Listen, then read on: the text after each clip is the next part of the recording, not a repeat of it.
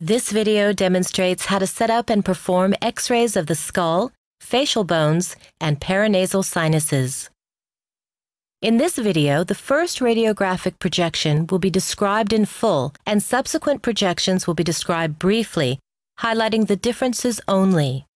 Equipment required includes the following.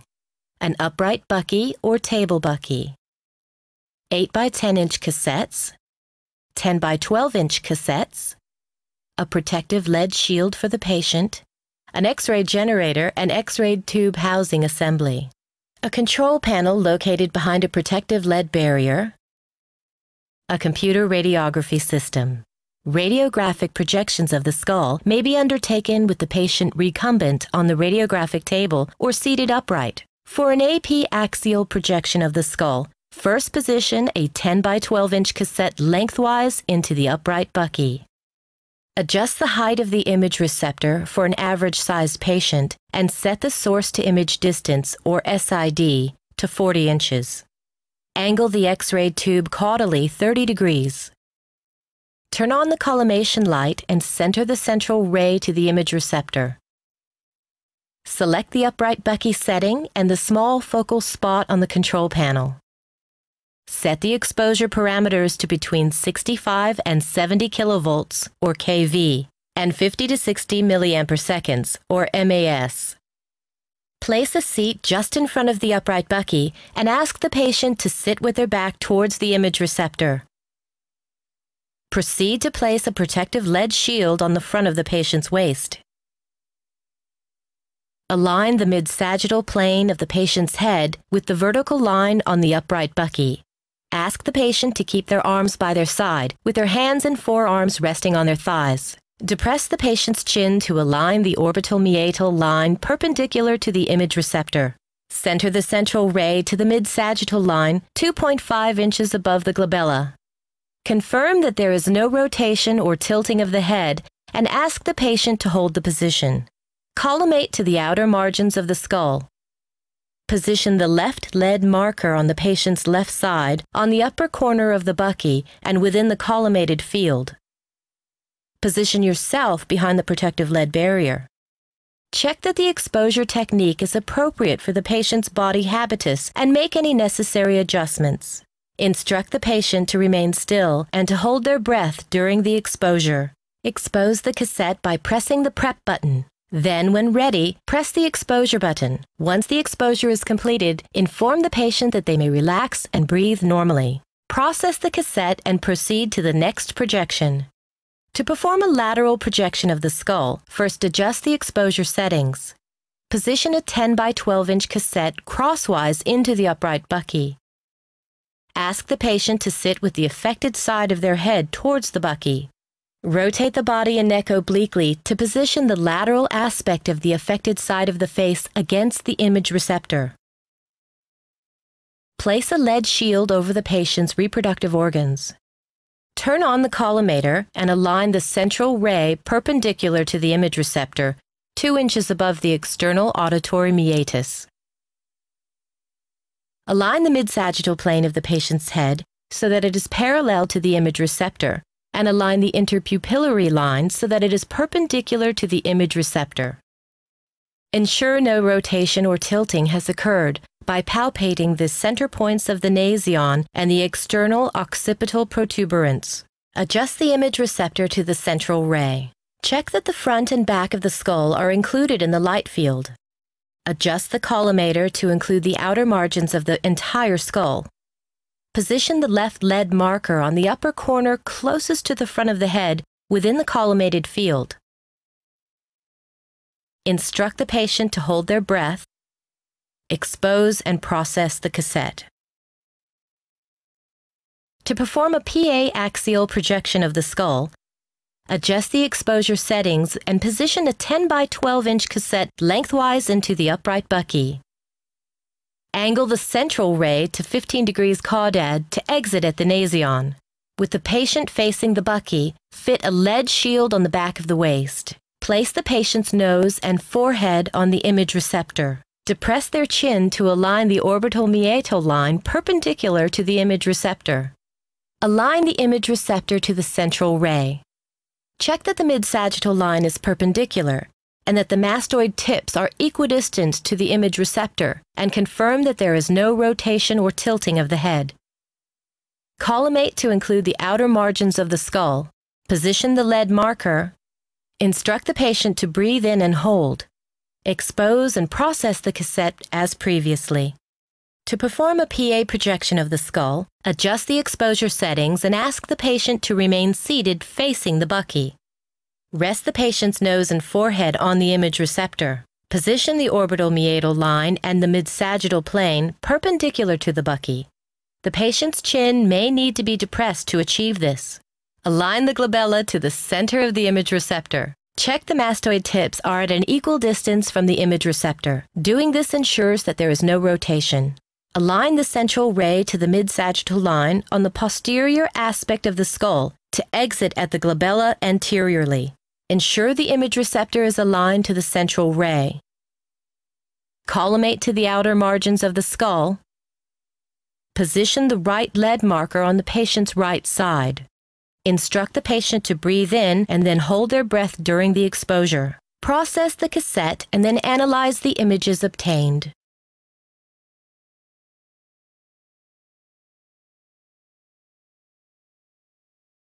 To image the facial bones using the lateral projection, set the KV to between 60 and 65 and the MAS to between 10 and 15.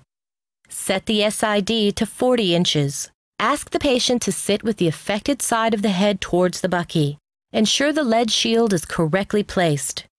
Position the patient's body obliquely so that the shoulder of the side being examined is towards the image receptor and the opposite shoulder is raised.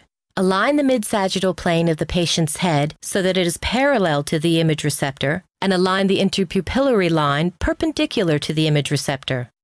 Check that there is no rotation or tilting of the head. Center the central ray to the zygoma, the prominence of the cheek. Collimate the light field to include all sides to within one inch of the facial bones. Position the lead marker. Instruct the patient to breathe in and to hold their breath during the exposure. For a Waters method parietoacanthial facial bones projection, adjust the exposure settings and position the patient to sit facing the image receptor. Fit a lead shield to the back of the patient's waist. Extend the patient's neck and rest their chin on the image receptor. Check that the orbitomeatal line is at 37 degrees to the image receptor and align the acanthion with the center of the image receptor, ensuring that there is no rotation. Line up the central ray to the mid-sagittal plane to exit at the acanthion. Collimate to include the outer margins of the facial bones. Instruct the patient to hold their breath and expose the cassette. To perform a PA axial projection of the facial bones, adjust the exposure settings and seat the patient so that they are facing the bucky. Position a lead shield to the back of the patient's waist. Align the mid-sagittal plane of the patient's head so that it is perpendicular to the image receptor and ensure that their nose and forehead are resting on it. Position the orbital meatal line perpendicular to the image receptor. Center the central ray angled 15 degrees caudad to the mid-sagittal plane to exit at the nasion. Collimate to the outer margins of the facial bones. Position the right lead marker on the patient's right side and within the collimated field. Instruct the patient to hold their breath during the exposure. Analyze the images obtained. To perform an axiolateral oblique projection of the mandible, use a KV between 60 and 65 and MAS of 3 or 4. Set the SID to 40 inches and angle the central ray 25 degrees cranially. The patient can be positioned either seated upright or supine. For the upright position, seat the patient facing the bucky. Position the patient obliquely with the shoulder on the affected side touching the image receptor. Place the patient's face with the ramus in the true lateral position against the image receptor. Align the central ray to the area of the mandible being examined and collimate to all sides. Expose and process the cassette. To obtain a PA projection of the mandible, adjust the exposure settings and ask the patient either to sit upright on a stool or lie prone on the table as demonstrated here with the forehead against the image receptor. Place a lead shield over their reproductive organs. Position the mid-sagittal plane and the orbital meatal line perpendicular to the image receptor. With the central ray perpendicular to the table, center it at the mid-sagittal plane, exiting at the level of the lips.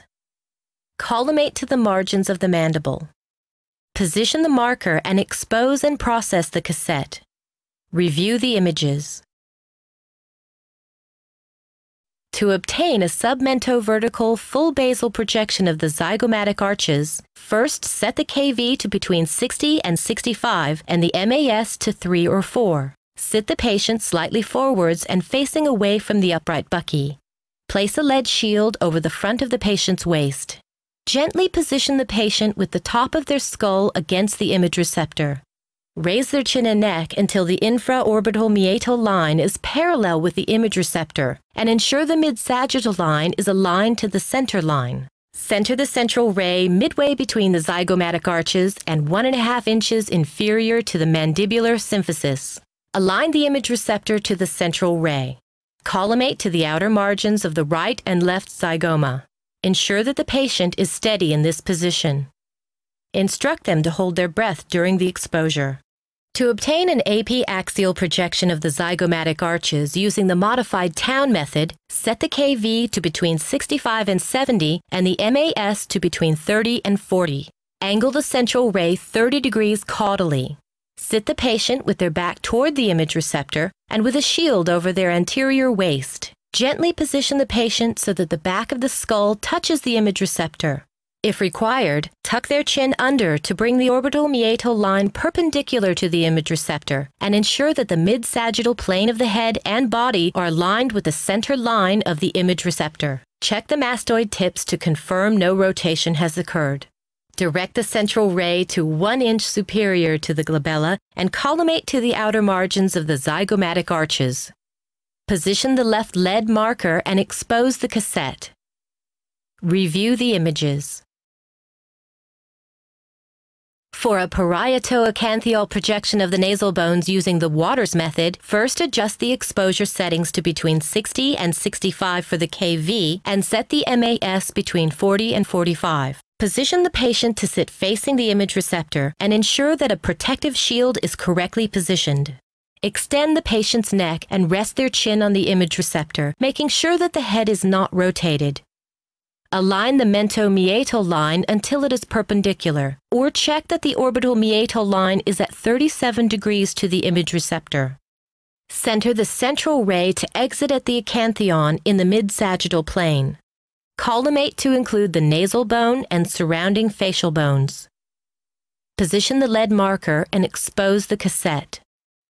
To obtain a lateral projection of the nasal bones, ask the patient to sit facing the image receptor. Rotate their head so that the affected side is closest to the image receptor. Align the mid-sagittal plane of their head so that it is parallel with the image receptor, and the interpupillary line is perpendicular to the image receptor. Ensure that there is no rotation or tilting of the head. Align the central ray to the nose, half an inch inferior to the nasion. After aligning the image receptor to the central ray, collimate to the outer margins of the nasal bones. Expose and process the cassette. Assess the images obtained. To obtain a parieto-acanthial projection of the orbits, adjust the KV to between 60 and 65 and set the MAS between 40 and 45. Position the patient to sit facing the image receptor and position the protective lead shield. Align the mid-sagittal plane, extend the neck, and rest the patient's chin on the image receptor. The orbitomeatal line must form a 37 degree angle with the bucky. Ensure there is no rotation of the head. Center the central ray to the mid-sagittal line to exit at the acanthion. Collimate to all outer margins of the orbits. To obtain a parieto-orbital projection of the orbits using the Rhese method, adjust the exposure settings and position the patient so that they are facing the image receptor. Ensure a protective lead shield is in place. Align the patient's mid-sagittal plane 53 degrees to the image receptor. Position the patient with their chin, cheek, and nose resting on the image receptor. Ensure the acanthomeatal line is perpendicular to the center of the image receptor. Line up the central ray with the center of the orbit closest to the image receptor. Align the image receptor to the central ray and reconfirm the patient position. Collimate to include the orbital region. Expose and process as previously. Review the images obtained. To obtain a lateral projection of the paranasal sinuses, set the KV to between 65 and 70 and set the MAS to between 10 and 15. Ask the patient to sit with the affected side of the head towards the bucky and to rotate their body and neck, bringing the side of their head against the bucky. Position the shield on the posterior waist. Ensure that the mid-sagittal plane of the patient's head is parallel to the upright bucky, while the interpupillary line is perpendicular to it. Center the central ray to a midpoint between the outer canthus of the eye and the external auditory meatus. Collimate to include the frontal bone, external auditory meatus, and the occlusal plane. Expose the cassette. To image the sinuses using a PA axial projection, adjust the exposure factors. Ask the patient to sit facing the bucky and position the lead shield. Raise the chin slightly so that the patient's orbital meatal line is 15 degrees to the horizontal central ray and ensure that the mid-sagittal plane is perpendicular to the bucky. Center the perpendicular central ray to the mid-sagittal plane and to exit at the nasion. Collimate to the area of the frontal and maxillary sinus cavities and laterally in line with both mandibular rami. Expose and process the cassette. To obtain a parieto-acanthial sinus projection, Adjust the exposure factors and position the patient facing the image receptor. Extend the neck so that the patient's chin rests on the image receptor and that the orbital meatal line is aligned 37 degrees to the image receptor. Check that the acanthion is aligned with the center of the image receptor. Align the central ray to the mid-sagittal plane and to exit at the acanthion. Collimate to include the frontal and maxillary sinuses. Expose and process the cassette. To obtain a submentovertical full basal projection of the sinuses, remember to adjust the exposure factors. Position the patient facing the X-ray tube and gently extend their head until the back of the skull rests against the image receptor. Check that the infraorbitomeatal line is parallel with the image receptor and align the mid-sagittal plane to the center of the image receptor. Center the central ray midway between the mandibular angles and 1.5 to 2 inches below the mandibular symphysis. Align the image receptor to the central ray and collimate to include the symphysis menti anteriorly and the mastoid tips posteriorly. Expose and process as previously. Review the images.